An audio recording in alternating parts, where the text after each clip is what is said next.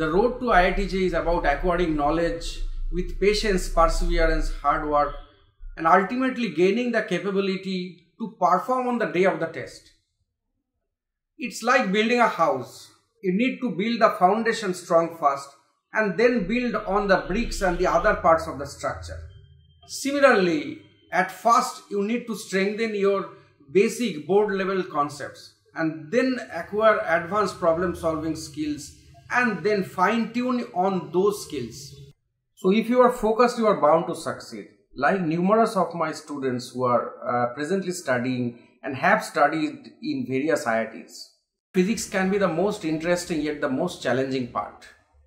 I am Nilanjan Chakrabarty. I am a physics coach for IIT for the past 15 years. I have seen and observed the change in the exam pattern and we have a dedicated team which sets graded question papers and test series which suits the present day IIT aspirant. To know more about IIT email me, WhatsApp me or call me at the mentioned numbers and email IDs.